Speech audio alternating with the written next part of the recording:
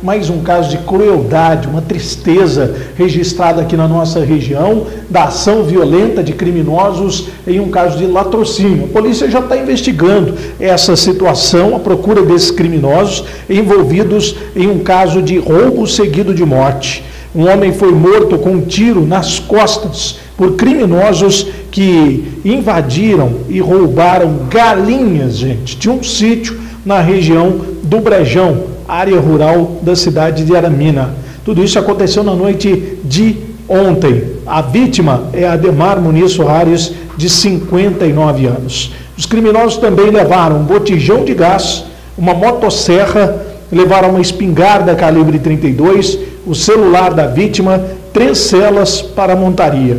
O caso chegou a ser registrado como latrocínio, que é o roubo seguido de morte, na CPJ de Ituverava e agora está sendo investigado pelas polícias civil. Quanto vale uma vida? Vale galinhas? É, Para bandido é isso. Né? Então é, é algo realmente revoltante. É muito triste você ver uma situação como essa de é, uma pessoa trabalhadora que acaba tendo o seu local invadido e morre de forma cruel com um tiro nas costas por criminosos que não perdoam. Né? São realmente situações graves e muito tristes. Tomara que a polícia realmente consiga localizar, está aqui na tela a imagem do seu Ademar, é, mais uma das vítimas da violência, da crueldade de bandidos na nossa região. Denúncias, gente, são sempre muito importantes.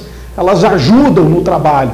Uma informação pelo 190, pelo 197 pode ajudar não vai trazer o seu Ademar de novo, de volta. Para a família vai ficar a dor, o sentimento de impunidade, de tristeza, mas é claro, pelo menos que esses criminosos sejam retirados das ruas. Tamanha crueldade.